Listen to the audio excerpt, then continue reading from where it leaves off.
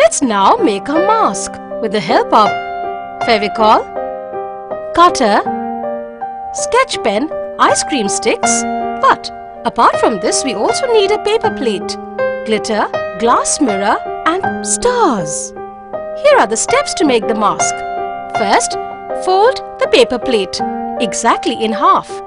Now, cut it.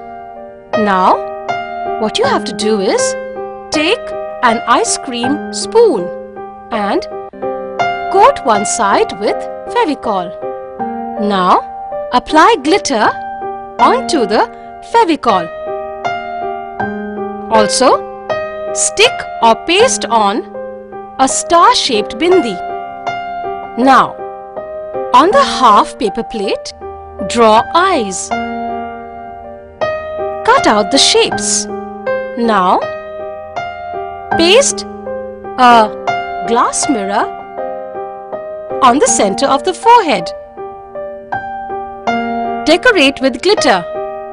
Now, paste the decorated ice cream spoons like this. Now, tie pieces of thread on each side of your mask like this. Your mask is complete.